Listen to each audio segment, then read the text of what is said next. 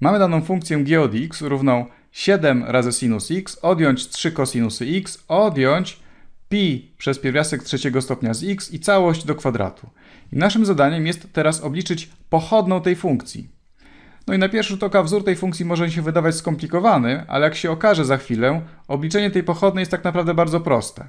Wystarczy tylko znać wzór na pochodną funkcji potęgowej, więc ja go tutaj szybko przypomnę, że pochodna x do potęgi n tej to jest n razy x do potęgi o 1 mniejszej, czyli tutaj mnoży się przez ten wykładnik, a następnie zmniejsz, zmniejsza się potęgę przy x, czyli x do n pierwszej. Druga rzecz, no to trzeba wiedzieć jaki jest wzór na pochodną funkcji sinus, czyli pochodna sinusa x, no to wiemy, że to jest cosinus x. No i wreszcie pochodna kosinusa.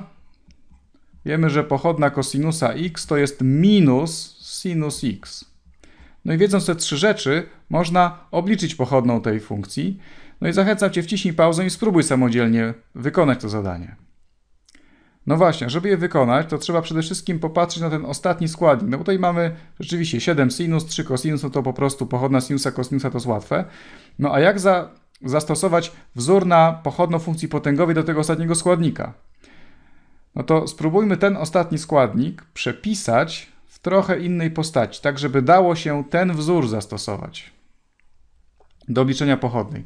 To ja może tutaj na dole to przekształcę. Czyli mam tak pi przez pierwiastek trzeciego stopnia z x i całość do kwadratu. To to jest to samo co pi kwadrat podzielone przez pierwiastek trzeciego stopnia z x i wszystko do kwadratu w mianowniku.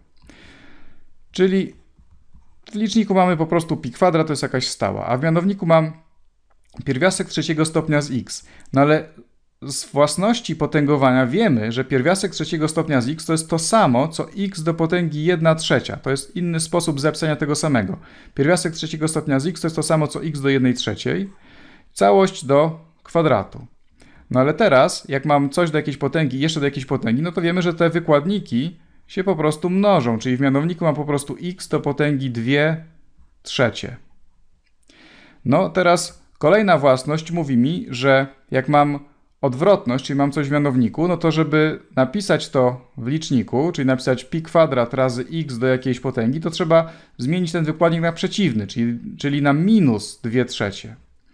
Czyli widzimy, że tę funkcję można zapisać równoważnie w takiej postaci, gdzie mamy jakąś stałą. Pi to jest po prostu liczba, pi kwadrat to też jest po prostu jakaś liczba, czyli stała razy x do jakiejś potęgi. No i w takiej postaci to, to będzie łatwo nam zróżniczkować, czyli wiemy, że ten ostatni składnik tutaj możemy zapisać równoważnie w postaci pi kwadrat razy x do potęgi minus 2 trzecie.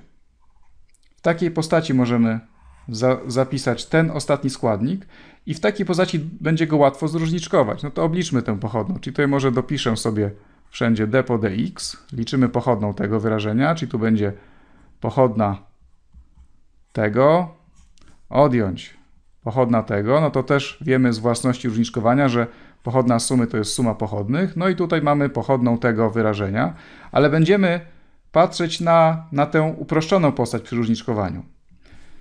Czyli zamiast tego będziemy patrzeć na, na tę postać, bo wiemy, że to jest dokładnie to samo. To jest inny sposób zapisania tej samej funkcji. No to obliczmy. Tutaj mamy pochodną funkcji g, czyli mogę zapisać w skrócie, że to jest g' od x, to jest to samo, równa się. No i teraz popatrzmy po kolei na wszystkie składniki. Najpierw obliczmy tę pochodną. Czyli tutaj mam 7 razy sinus i liczę tego pochodną. No więc jak mam jakąś stałą, to mogę tę stałą wyciągnąć przed pochodną i to będzie 7 razy pochodna sinusa, a pochodna sinusa to jest cosinus x. Dalej. Dalej mamy funkcję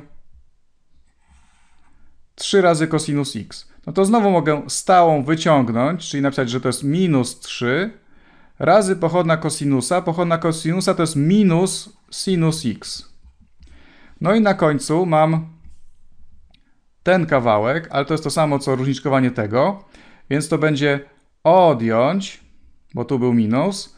I teraz tak, pochodna funkcji potęgowej. No mam jakąś stałą, pi kwadrat, no więc tak samo jak poprzednio. Pochodna funkcji pomnożonej przez stałą to będzie stała razy pochodna tej funkcji, czyli tutaj pi kwadrat przepisałem i teraz muszę ten wykładnik tutaj napisać przed x, czyli będzie minus 2 trzecie razy x do potęgi, zgodnie z tym wzorem, który tutaj mamy. Napisałem wykładnik na początku i teraz muszę napisać wykładnik o jeden mniejszy, czyli muszę od minus 2 trzecich odjąć 1 jeszcze. Zmniejszam ten wykładnik o 1. Czyli ostatecznie mogę teraz napisać wzór tej pochodnej. g' od x będzie równe. Tutaj nic nie trzeba upraszczać. 7 razy cosinus x. Tutaj mamy minus i minus to będzie plus 3 razy sinus x. No a tutaj mam minus i minus, czyli to będzie plus pi kwadrat razy 2 trzecie, czyli to będzie 2 pi kwadrat przez 3. Jeszcze raz podkreślam, tutaj ten kwadrat przy pi to nie miał żadnego znaczenia ze względu na różniczkowanie. Tutaj przy różniczkowaniu uwzględniliśmy wykładnik przy x, a ten wykładnik przy pi nie ma żadnego znaczenia, bo to jest po prostu jakaś stała. Pi kwadrat to jest jakaś stała.